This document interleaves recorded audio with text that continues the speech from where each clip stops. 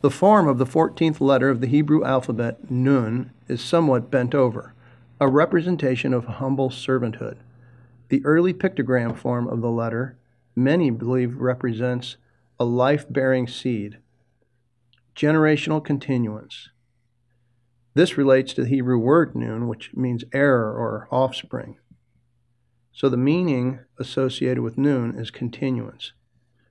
The most important report in Scripture concerning continuance is the good news of God's faithfulness, the ultimate life giving, life blessing continuance.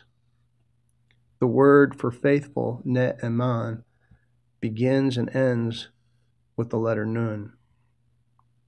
Psalm 72, a messianic psalm, says of Messiah, Let his name endure forever. May his name be magnified as long as the sun. Let the people bless themselves by him, and let all nations call him blessed.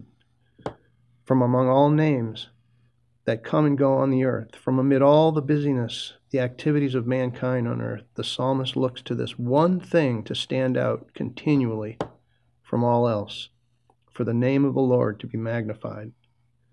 Like faithful, the word translated be magnified, ye noon, has two noons in it.